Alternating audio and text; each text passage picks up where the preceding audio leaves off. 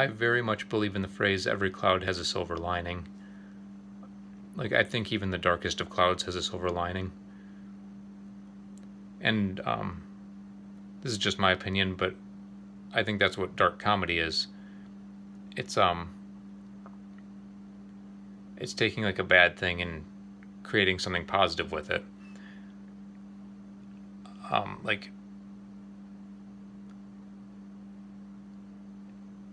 I, and I, I don't think it's um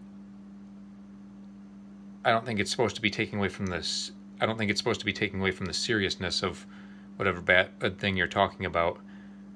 And I don't think it's supposed to be making fun of like the victims of whatever bad thing you're talking about.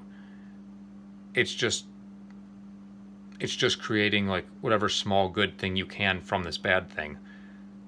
Not necessarily turning a bad thing into a good thing just just again just just creating whatever small good thing you can from this bad thing. Um, for example like um, if you tell a joke about war it's not making war a good thing it's not making war a funny thing.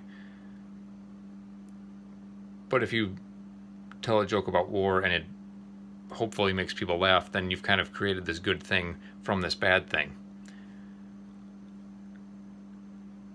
And um some people say that um well some people don't like dark humor. Like they think that, that you know there's things that you shouldn't joke about. Um which I respect.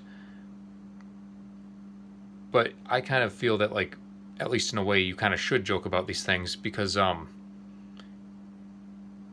kind of if you look at it this way it's kind of like if you have this bad dark thing